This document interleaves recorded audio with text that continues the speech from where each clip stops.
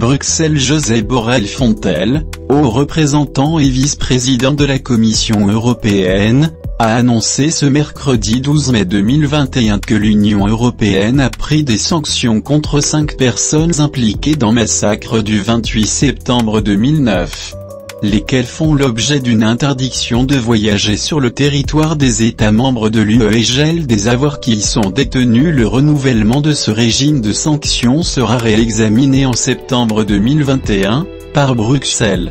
Le représentant a fait mention de ces sanctions dans la lettre réponse qu'il a adressée aux 32 eurodéputés qu'il avait interpellés il y a trois semaines sur la situation des droits de l'homme en Guinée. Quant aux auteurs du massacre du 28 septembre 2009, l'UE a toujours exigé qu'ils soient jugés. Ce qui n'a malheureusement pas été le cas à ce jour. Cinq personnes impliquées dans le massacre, qualifiées de crimes contre l'humanité, font l'objet d'un régime de sanctions individuelles de l'UE, interdiction de voyager sur le territoire des États membres de l'UE et gel des avoirs qui y sont détenus. Le renouvellement de ce régime de sanctions sera examiné en septembre 2021, annoncé José Borrell Fontel. Dialogue.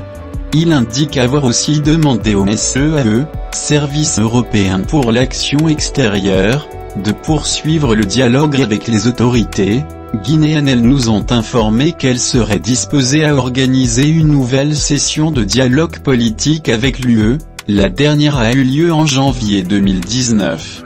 Un tel dialogue serait l'occasion d'aborder les questions de gouvernance et de droits de l'homme en Guinée. En outre, les autorités ont annoncé que le mécanisme de dialogue entre le gouvernement et l'opposition, opposition parlementaire et extra-parlementaire, y compris l'UFDG de Cellou Alain Diallo, récemment créé, serait bientôt activé, a-t-il expliqué, précisant que l'UE suivra et réévaluera la situation à la lumière des développements futurs. L'intégralité de la lettre réponse du haut représentant aux 32 eurodéputés.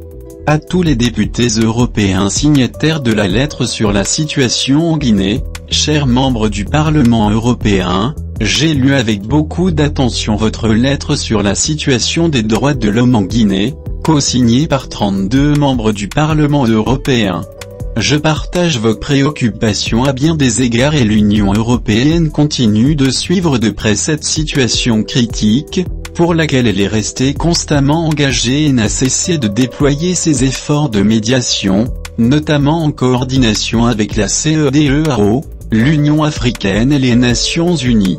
Dans la déclaration du 20 mars 2020, l'UE avait déjà mis en garde contre le contexte de polarisation extrême entourant le double scrutin du 22 mars 2020, élections législatives et référendum constitutionnel, et ne considérait pas que les conditions d'organisation d'un scrutin sérieux et pacifique, dont le résultat pourrait être accepté par tous, étaient réunies. Comme vous le savez, dans ces conditions, l'Union européenne a renoncé à déployer une mission d'experts électoraux.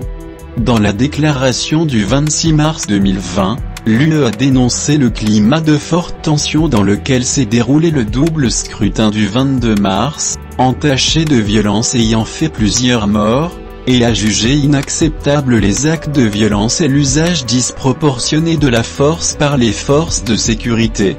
Le caractère non inclusif et non consensuel de ces élections et du registre électoral qui, a porté atteinte à leur crédibilité a, également été dénoncé. Il a été noté que l'absence d'une mission d'observation régionale et internationale reconnue remettait également en cause la validité du processus, et que les divisions intercommunautaires se creusaient dangereusement.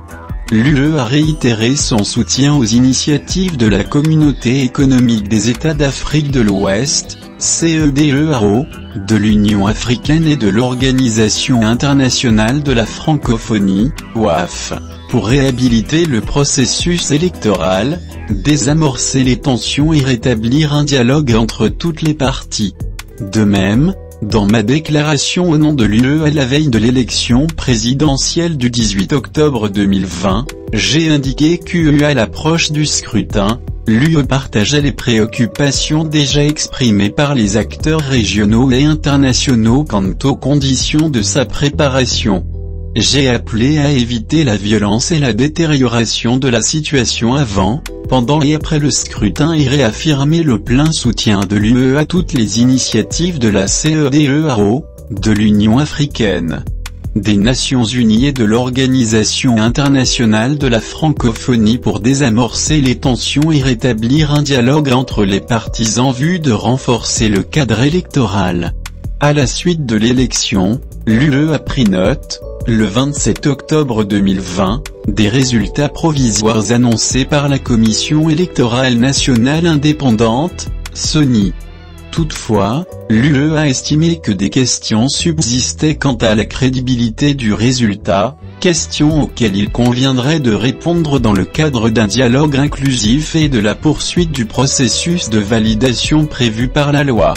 L'UE a condamné une nouvelle fois les violences qui ont causé la mort de nombreuses personnes. Elle a exhorté les autorités à mener des enquêtes indépendantes afin que justice soit rendue dans les meilleurs délais. Le climat post-électoral est resté tendu.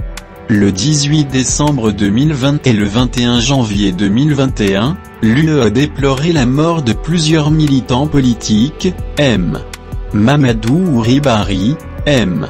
Roger Bamba, qui était en détention provisoire à la prison centrale de Conakry, après la mort d'Ibrahima Sow et de Mamadou Lamarana Diallo au cours des mois précédents. L'UE a exhorté les autorités guinéennes à mener une enquête indépendante afin d'élucider les causes de leur décès, rappelant qu'elle considère le respect de l'état de droit comme une priorité du nouveau mandat présidentiel, et demande la libération des prisonniers politiques. Quant aux auteurs du massacre du 28 septembre 2009, l'UE a toujours exigé qu'ils soient jugés, ce qui n'a malheureusement pas été le cas à ce jour. Cinq personnes impliquées dans le massacre, qualifiées de crimes contre l'humanité, font l'objet d'un régime de sanctions individuelles de l'UE, interdiction de voyager sur le territoire des États membres de l'UE et gel des avoirs qui y sont détenus. Le renouvellement de ce régime de sanctions sera examiné en septembre 2021.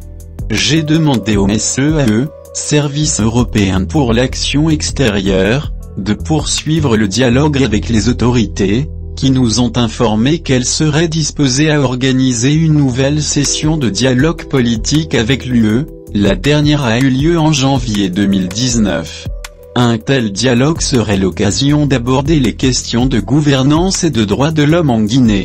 En outre, les autorités ont annoncé que le mécanisme de dialogue entre le gouvernement et l'opposition, opposition parlementaire et extra-parlementaire, y compris l'UFDG de Cellou Alain Diallo, récemment créé, serait bientôt activé. L'UE suivra et réévaluera la situation à la lumière des développements futurs. Veuillez agréer, Madame, Monsieur, l'expression de mes sentiments distingués.